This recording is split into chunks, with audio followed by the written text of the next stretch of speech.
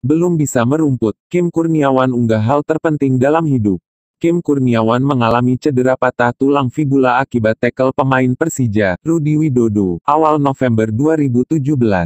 Pemain berdarah Jerman itu telah menjalani foto X-ray terakhir pada Jumat, tanggal 2 bulan 2 tahun 2018.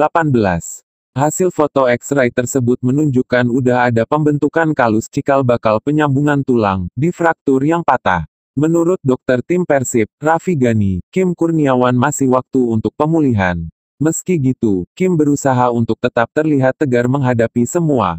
Tak hanya itu, ia pun bertekad untuk tetap bisa menikmati hidupnya, bahkan hal itu dianggap sangat penting. Hal tersebut disampaikan pemain Persib Bandung itu melalui unggahan di akun Instagram miliknya. Hal yang paling penting adalah menikmati hidup Anda. Untuk menjadi bahagia, itu adalah hal yang penting. Gitu tulis Kim dalam unggahannya.